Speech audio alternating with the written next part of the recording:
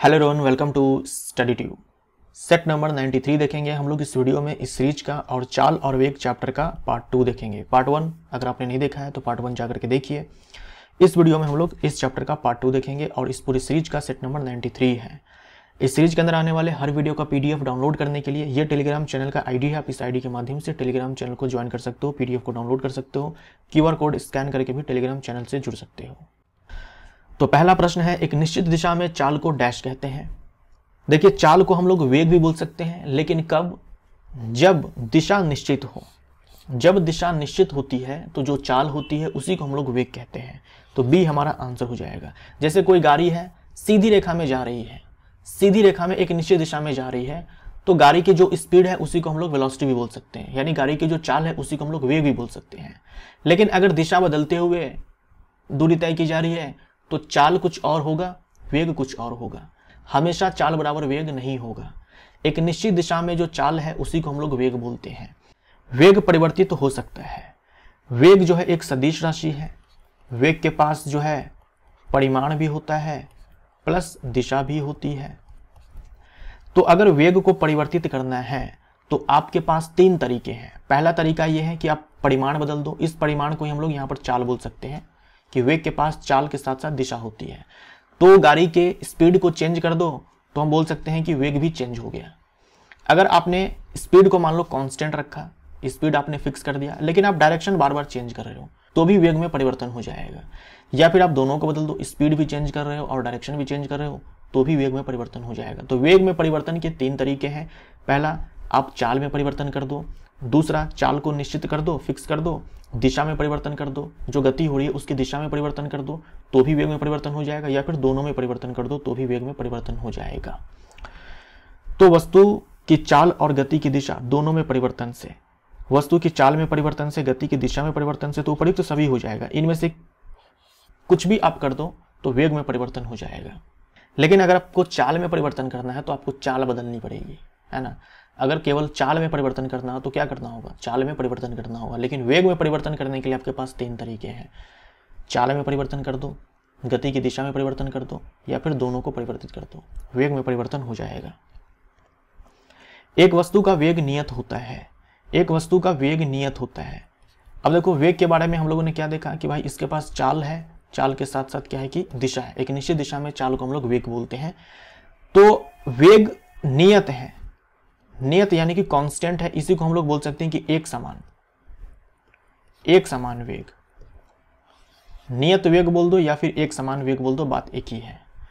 तो अगर आपको वेग नियत करना हो, वेग आपको कांस्टेंट करना हो, वेग अगर आपको कांस्टेंट करना हो कांस्टेंट वेलोसिटी इंग्लिश में तो जो चाल है, ये भी कांस्टेंट होनी चाहिए, और जो दिशा है, ये भी कांस्टेंट होनी चाहिए। तब जाकर के वेग जो है नियत होगा। वेग अगर नियत है, इसका मतलब ना तो स्पीड बदल रही है, ना तो चाल में परिवर्तन हो रहा है और ना ही दिशा में परिवर्तन हो रहा है। सारे ये दोनों के दोनों क्या है कि निश्चित है कांस्टेंट है, तभी हम लोग वेग को नियत बोलेंगे। तो वस्तु की चाल और गति की दिशा दोनों नियत हो, तब हम जाकर के वेग को नियत बोलेंगे। अदरवाइज़ क्या होगा? हम लोगों ने जस्ट देखा चाल में परिवर्तन कर दो, दिशा में परिवर्तन कर दो या फिर दोनों में परिवर्तन कर दो, वेग में परिवर्तन हो जाएगा। अगर आपको वेग नियत रखना है तो चाल और दिशा, ये दोनों ही नियत होने चाहिए। एक गाड़ी का ऑडोमीटर क्या मापता है? गाड़ी में ऑडोमीटर लगा होता है, जिसमें हम लोग देखते हैं कि गाड़ी कितनी चली है। गाड़ी में ऑडोमीटर लगा होता है, एक यंत्र लगा होता है, जो गाड़ी द्वारा तय की गई दूरी को बताता है। तो गाड़ी द्वारा तय की गई दूरी, ये मापता है कौन? ऑडोमीटर एक गाड़ी का स्पीडोमीटर क्या मापता है? एक गाड़ी का स्पीडोमीटर मापता है गाड़ी की स्पीड, गाड़ी की चाल तो बी हमारा आंसर हो जाएगा। देख लो, किसी पर्टिकुलर टाइम पर, किसी इंस्टेंट पे गाड़ी की स्पीड क्या है, वो ये स्पीडोमीटर बताता है। तो ये ऑडोमीटर है और ये स्पीडोमीटर है। और ये जो चाल है ना, जो ये ऑडो स्पीडोमीटर बताता है कि गाड़ी की चाल कितनी है, ये इंस्टेंटेनियस स्पीड होती है। इसे बोलते हैं हिंदी में तात्क्षणिक चाल। तात्क्षणिक चाल। ये औसत चाल जो है, औसत चाल जो है, ये नहीं बताएगा। कौन? स्पीडोमीटर। स्पीडोमीटर जिस चाल को बताता है, वो ये चाल होती है, तात्क्षणिक चाल। Instantaneous speed. Instantaneous speed. यानी किसी इंस्टेंट पे स्पीड क्या है वो बता ऐसा नहीं है कि पूरे जर्नी में जो एवरेज स्पीड रही है, वो ये स्पीडोमीटर बताता है। नहीं, किसी इंस्टेंट पर गाड़ी की चाल क्या है, वो ये स्पीडोमीटर बताने का काम करता है। तो किसी इंस्टेंट पे गाड़ी की जो चाल होती है, उसे हम लोग इंस्टेंटेनियस स्पीड बोलते हैं, तात्क्षणिक चाल बोलते हैं। यात्रा शुरू करते समय कार का ऑडोमीटर 2000 किलोमीटर प्रदर्शित करता है और यात्रा समाप्ति पर 2400 किलोमीटर प्रदर्शित करता है। यदि इस यात्रा में आठ घंटे लगते हैं तो कार की औसत चाल को ज्ञात करें। जैसे मान लीजिए आपने घर से बाइक को निकाला बाइक पर आप बैठते हैं, उस समय आप ऑडोमीटर में, यानी कि यहाँ पे, यहाँ पर आप देखते हैं कि जो आपकी कार है, वो चली हुई है अब तक 2000 किलोमीटर। फिर मान लो आप जाते हैं, किसी जर्नी पे निकलते हैं बाइक लेकर के जाते हैं और जहाँ पर जर्नी ख़त्म करते हैं, वहाँ पर आप देखते हैं कि जो रीडिंग है, ये हो चुकी है चौबीस किलोमीटर। जब आपने स्टार्ट किया था, उस समय ऑडोमीटर की रीडिंग ये थी जब आपने जर्नी कंप्लीट कर लिया, तब ऑडोमीटर की रीडिंग ये है, यानी कि अब जो बाइक है वो इतनी चल चुकी है। तो इस पूरे जर्नी में जो डिस्टेंस कवर किया गया है, वो कितनी है? 400 किलोमीटर। ये डिस्टेंस कवर किया गया है और टाइम कितना लगा है? टाइम लगा है आठ घंटे। इस पूरे जर्नी को कंप्लीट करने में, इस पूरे डिस्टेंस को कंप्लीट करने में आठ घंटे लगे हैं। तो जो एवरेज स्पीड होता है, वो होता है टोटल डिस्टेंस, बटे में टोटल टाइम। टोटल डिस्टेंस कितना है? 400 टोटल टाइम कितना है? ये किलोमीटर में है और ये घंटा है। तो 50 किलोमीटर पर आवर। ये औसत चाल है। यानी यानी इस पूरे जर्नी को जो कंप्लीट किया गया है, वो मोटे तौर पर इस स्पीड से कंप्लीट किया गया है। याद रखिएगा, ये औसत चाल है। इसका मतलब ये नहीं है कि पूरे आठ घंटे जो है गाड़ी इसी स्पीड से चली है। ये पचास किलोमीटर पर आवर की स्पीड से चली है। नहीं, ये औसत चाल है।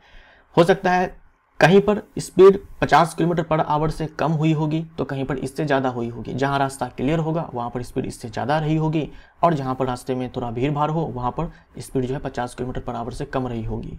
तो औसत चाल का मतलब ये नहीं होता है कि पूरे जर्नी के दौरान वही स्पीड रही होगी, नहीं। तब तो हम उसे कॉन्स्टेंट स्पीड बोलते हैं ना? एक समान चाल बोलते हैं उसे।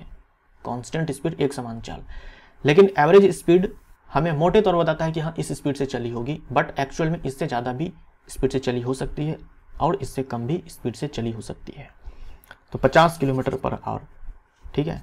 अगर यहीं पर मान लो, मैं आपसे बोल देता कि कांस्टेंट स्पीड जो है कांस्टेंट स्पीड यानी कि नियत चाल नियत चाल जो है 50 किलोमीटर पर आवर है। इसका मतलब पूरे जर्नी के दौरान जो है स्पीड 50 किलोमीटर पर आवर ही रही होगी। लेकिन एवरेज स्पीड का मतलब ये नहीं होता है। एवरेज स्पीड का मतलब मोटे तौर पर मोटा मोटी जो है ये स्पीड रही है। लेकिन ऐसा हो सकता है कि इससे ज़्यादा भी रही हो, इससे कम भी रही हो। लेकिन नियत चाल का मतलब हमेशा पूरे जर्नी के दौरान यही स्पीड रही होगी। एक प्रयोग के दौरान अंतरिक्ष यान से एक सिग्नल को पृथ्वी पर पहुँचने में पाँच मिनट का समय लगता है। पृथ्वी पर स्थित स्टेशन से उस अंतरिक्ष यान की दूरी क्या है? देखिए, अंतरिक्ष से एक सिग्नल को पृथ्वी तक पहुँचने में पाँच मिनट का समय लगता है। तो जो सिग्नल है, वो पृथ्वी तक पहुंचेगी किस स्पीड से? लाइट के स्पीड से।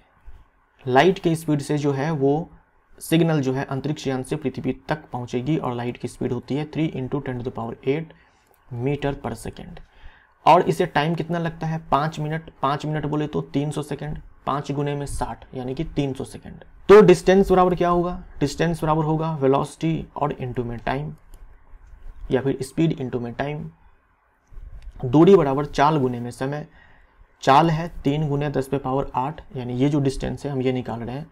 अंतरिक्ष यान से इस पृथ्वी की जो दूरी है, वो है तीन गुने दस पे पावर आठ गुने में तीन सौ।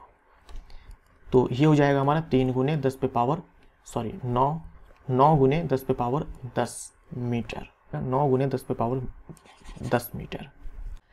वेग में परिवर्तन की दर को कहते हैं। वेग में परिवर्तन की दर को त्वरण कहते हैं। त्वरण को हम लोग ए से डिनोट करते हैं। देखिए, त्वरण उत्पन्न तभी होगा जब वेग में परिवर्तन होगा।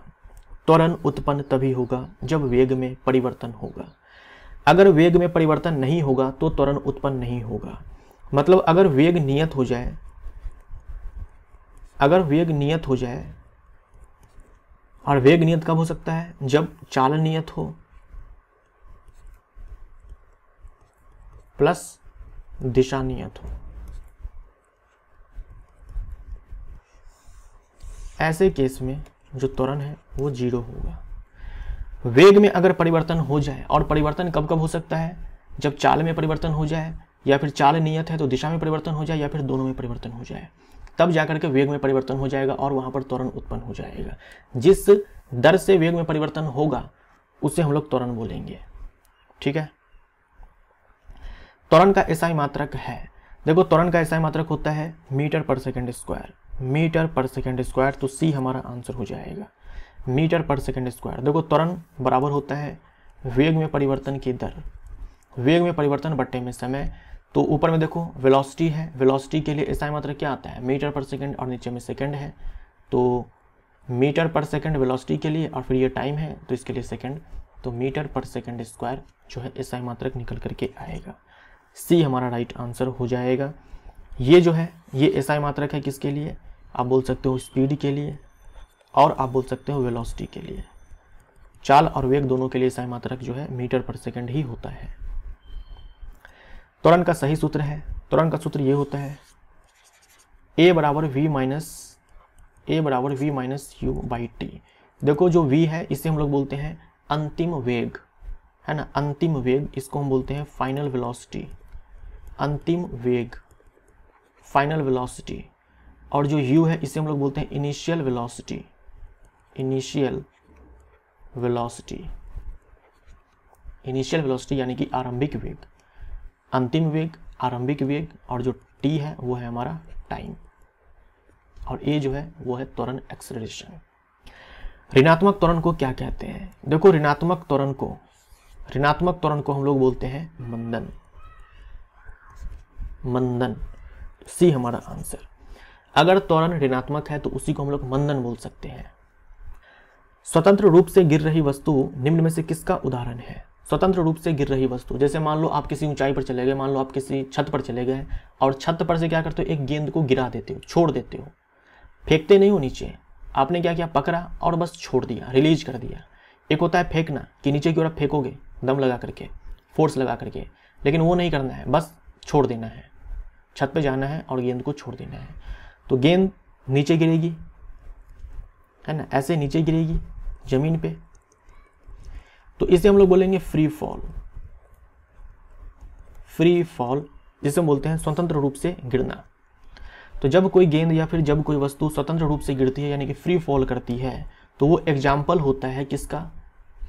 वो एग्ज़ाम्पल होता है असमान गति का। असमान गति का। असमान गति बोल सकते हो यहाँ पर। चाल बोल सकते हो यहाँ पर, वेग बोल सकते हो यहाँ पर। क्योंकि जो दिशा है, वो तो निश्चित है, नीचे की ओर है, और जो भी स्पीड होगी, उसे हम लोग वेलोसिटी भी बोल सकते हैं, क्योंकि दिशा यहाँ पर निश्चित है। तो इसे आप असमान गति बोल दो, असमान चाल बोल दो, असमान वेग बोल दो। जैसे जैसे वस्तु नीचे की ओर आती है वैसे वैसे जो इसकी चाल है या फिर जो वेग है, वो बढ़ती जाती है, वो बढ़ती जाती है। यानी वेग में परिवर्तन होता जाता है। तो जैसे ही वेग में परिवर्तन हुआ तो यहाँ पर क्या होगा कि त्वरण भी उत्पन्न हो जाएगा। यहाँ पर क्या होगा कि त्वरण भी उत्पन्न हो जाएगा। लेकिन वेग लगातार बढ़ता तो है, लेकिन समान दर से बढ़ता है। तो अगर समान दर से बढ़ता है तो त्वरण हम यहाँ पर बोलेंगे कि एक समान है। अगर वेग में परिवर्तन समान रूप से हो रहा है है ना? वेग में परिवर्तन अगर समान रूप से हो रहा है तो वेग में परिवर्तन की जो दर है, वो भी एक समान रहेगी। यानी कि हम बोल सकते हैं जो त्वरण है, वो एक समान है। एक समान त्वरण। तो ये आपको ध्यान में रखना है कि जो ये होता है ना, स्वतंत्र रूप से कोई वस्तु नीचे गिरती है या फिर इसी को हम लोग फ्री फॉल बोलते हैं। जब ऐसा होता है तो ये एग्ज़ाम्पल होता है असमान गति का या फिर असमान चाल का या फिर असमान वेग का, और ये एग्ज़ाम्पल होता है एक समान त्वरण का। एक समान त्वरण का। तो असमान गति बोल दो और एक समान त्वरित गति बोल दो। सी और डी दोनों जो है यहाँ पर सही हो जाएगा तो ई हमारा आंसर उपयुक्त में से एक से अधिक जो है हमारा सही हो जाएगा। असमान गति या असमान चाल, असमान वेग बोल सकते हो, और एक समान त्वरित गति। त्वरित गति का मतलब होता है जिस गति में त्वरण हो, जिस गति में त्वरण हो। और वैसे भी हम जानते हैं कि जब वस्तु नीचे गिरती है तो जो ए बराबर होता है वो हमारा जी होता है और ये 9.8 मीटर पर सेकंड स्क्वायर होता है। यही तो होता है ना?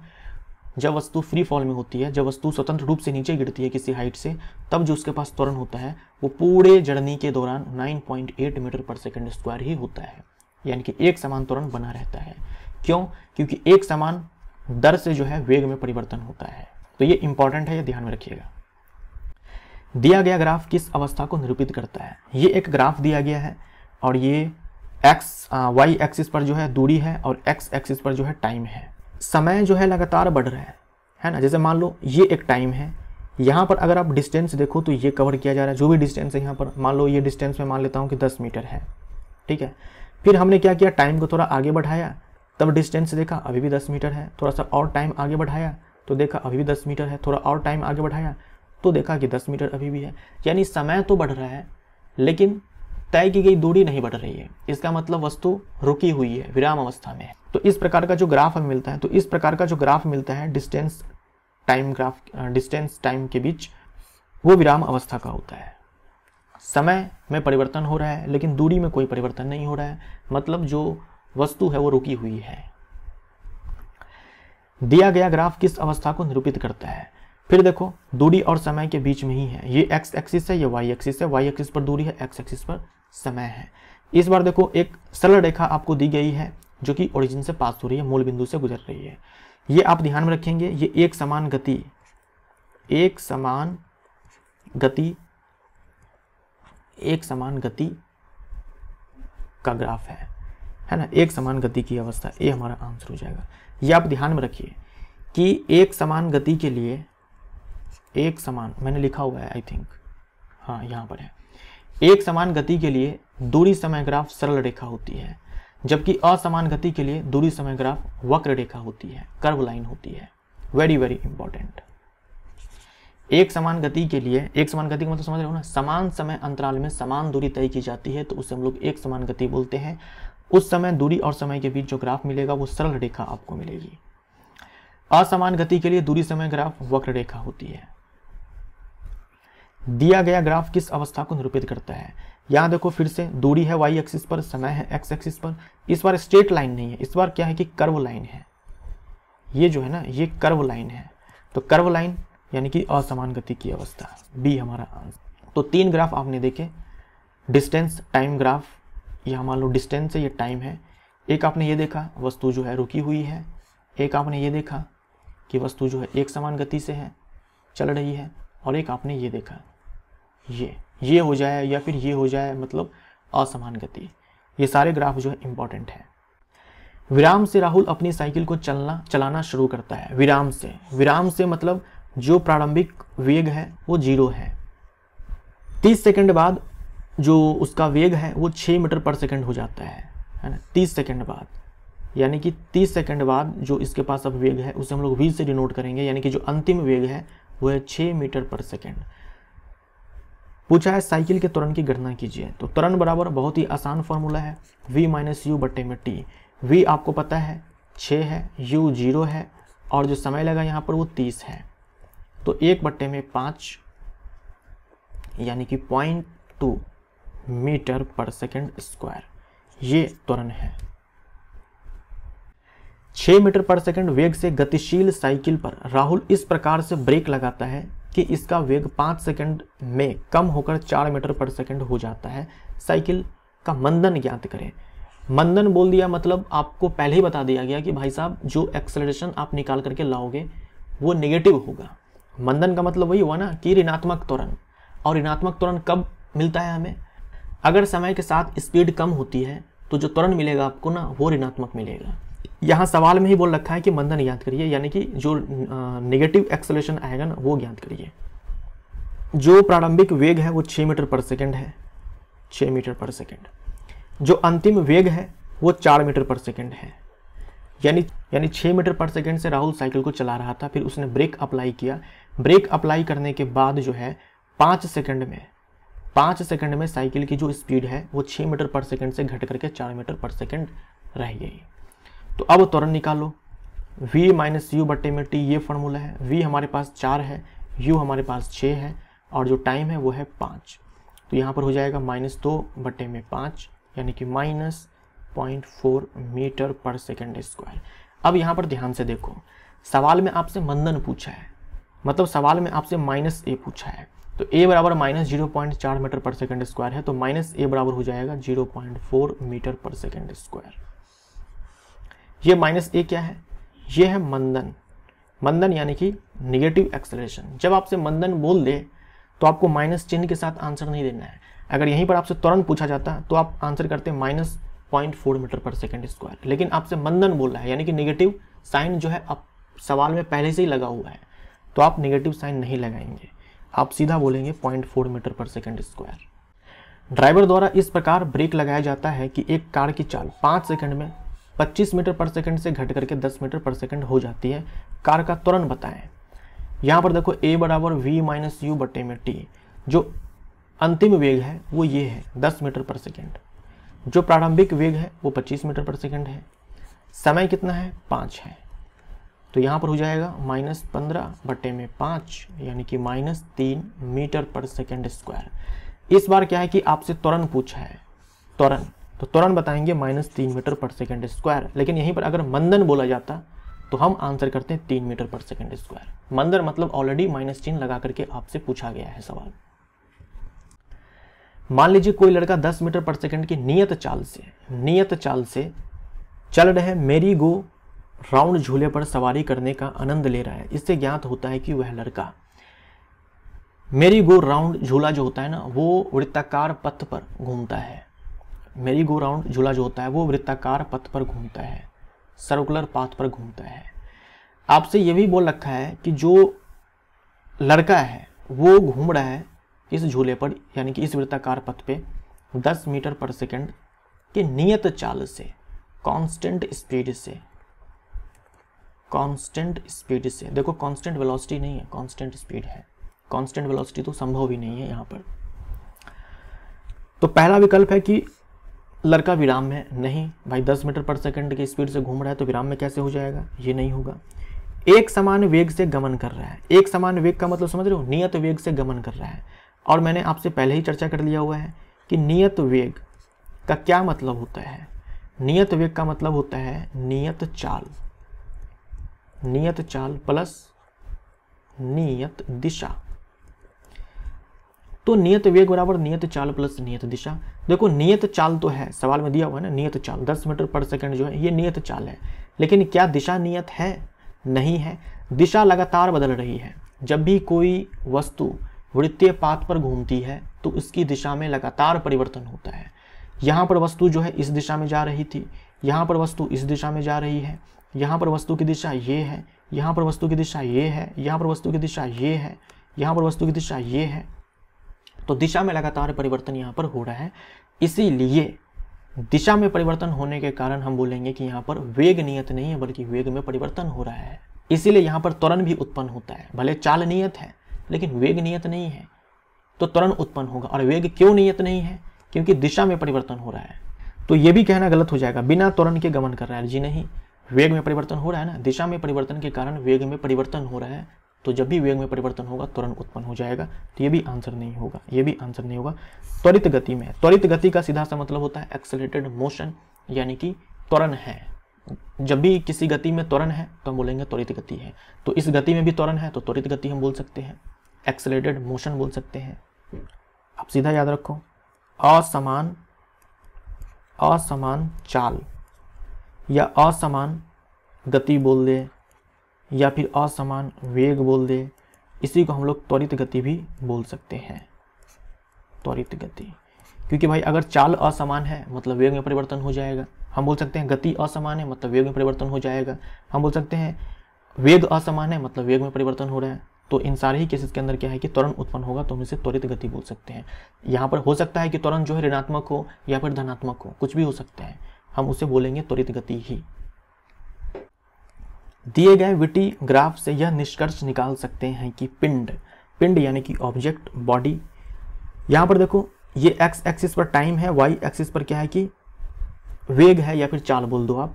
तो यहाँ पर देखो, हम समय, मान लो कि यहाँ पर जो भी टाइम है, उस समय स्पीड यहाँ पर कुछ भी है वी है स्पीड ठीक है? मान लो ना कि यहाँ पर स्पीड जो है पाँच मीटर पर सेकेंड है एग्ज़ाम्पल के तौर पर। अब देखो, हम समय बढ़ा रहे हैं, लेकिन स्पीड अभी भी पाँच मीटर पर सेकंड है। हम समय बढ़ा रहे हैं, अभी पाँच मीटर पर सेकंड है। समय बढ़ा रहे हैं, अभी पाँच मीटर पर सेकंड है। यानी टाइम में चेंज तो हो रहा है, लेकिन स्पीड में चेंज नहीं हो रहा है। यानी कि समय के साथ जो स्पीड है, वो कांस्टेंट है। यानी कि ये जो ग्राफ है ना, ये एक समान गति कर रहा है। एक समान गति जो वस्तु कर रहा है, उसका ग्राफ है। ये किसका ग्राफ है? यूनिफॉर्म मोशन यूनिफॉर्म मोशन या फिर बोल सकते हो यूनिफॉर्म स्पीड अगर दिशा निश्चित है तो हम यूनिफॉर्म वेलोसिटी भी बोल सकते हैं। थोड़ी देर पहले आपने जो एक ग्राफ देखा था, इस प्रकार का जो था, वो डिस्टेंस टाइम के बीच था। दूरी और समय के बीच। ये चाल और समय के बीच है। कौन सा ग्राफ एक समान गति का सही निरूपण करता है? सारा जो ग्राफ है, वो डिस्टेंस टाइम एक्सिस के बीच है। है ना? डिस्टेंस टाइम यहाँ देखो, ये एक समान चाल के लिए है तो यही हमारा आंसर हो जाएगा। ये असमान चाल के लिए है, ये असमान चाल के लिए है, और यहाँ पर जो है, जो वस्तु है, वो रेस्ट में है विराम अवस्था में है। एक बस अपने चाल को 10 सेकंड में 36 किलोमीटर पर आर से बहत्तर किलोमीटर पर आर तक बढ़ा देती है। इसका त्वरण त्वरण बताना है मीटर पर सेकंड में, मीटर पर सेकंड स्क्वायर में, स्पीड आपको दिया गया है किलोमीटर पर आवर में। तो यू हमारे पास है 36 36 किलोमीटर पर आर। देखो, किलोमीटर पर आर को मीटर पर सेकंड में चेंज करने के लिए पाँच बट्टे अठारह से गुना कर देते हैं। तो ये हो जाएगा दस मीटर पर सेकंड। जो अंतिम वेग है, वह है बहत्तर किलोमीटर पर आर। देखो, मैं वेग बोल रहा हूँ, लेकिन यहाँ पर चाल लिखा हुआ है। तो आप समझ जाना कि निश्चित दिशा में ये चाल है। इसीलिए हम यहाँ पर वेग शब्द का जो है इस्तेमाल कर रहे हैं। तो यहाँ पर भी पाँच बटे अठारह से मल्टीप्लाई करेंगे तो ये अठारह चौक बहत्तर, चार पंचे बीस। बीस मीटर पर सेकंड हो जाएगा। अब त्वरण बराबर हम लोग सूत्र लगाएँगे v माइनस यू बट्टे में t v हमारे पास 20 है, u हमारे पास 10 है और बट्टे में टाइम जो है हमारे पास, ये 10 है। तो 10 बट्टे में 10 यानी कि एक metre per second square. D हमारा आंसर। एक बस 20 मीटर पर सेकेंड की चाल से सीधी रेखा में चल रही है। एक बस है जो सीधी रेखा में चल रही है। ये एक बस है जो सीधी रेखा में चल रही है 20 मीटर पर सेकंड के स्पीड से, सीधी रेखा में जो स्पीड होती है उसी को हम लोग वेग बोलते हैं तो हम इसे वेग भी बोल सकते हैं। और देखो, त्वरण ये है। अच्छा त्वरण कब उत्पन्न होता है? जब वेग में परिवर्तन होता है। और यहाँ पर हम ये भी देख पा रहे हैं कि भाई, दिशा में तो परिवर्तन नहीं हो रहा है, क्योंकि सीधी रेखा में जो है बस जा रही है। इसका मतलब है कि स्पीड में परिवर्तन हो रहा होगा। तो त्वरण उत्पन्न होने का यहाँ पर मतलब है कि स्पीड में परिवर्तन हो रहा है। स्पीड में परिवर्तन हो रहा है। त्वरण यहाँ पर धनात्मक है मतलब समय के साथ स्पीड जो है बढ़ रही है, चाल जो है बढ़ रही है। तो इसका मतलब ये हुआ कि जैसे जैसे टाइम आगे बढ़ेगा ना, इसकी चाल बढ़ती जाएगी। तो आपसे पूछा गया कि दो सेकंड बताओ कि चाल कितनी होगी। क्योंकि भाई त्वरण तो है। त्वरण है मतलब चाल में परिवर्तन यहाँ पर हो रहा है। दिशा में परिवर्तन तो नहीं हो रहा है। तुरंत दिशा में परिवर्तन के कारण जो वेग में परिवर्तन होगा, उसके कारण भी उत्पन्न हो सकता है। लेकिन यहाँ पर दिशा में परिवर्तन तो नहीं हो रहा है, सीधी रेखा में है। डेफिनेटली वेग में जो परिवर्तन है, वो चाल में परिवर्तन के कारण हो रहा है। तो दो सेकंड के बाद बताओ कि चाल कितनी होगी। तो ए बराबर वी माइनस यू बटे में टी ए इंटू में टी बराबर वी माइनस यू ये जो है ना, ये ये ये ये प्रारंभिक वेग है, यानी कि ये यू है, ये यू है। तो v बराबर हो जाएगा u plus a t u कितने हैं? बीस है। A हमारे पास चार है। दो सेकंड के बाद बताना है।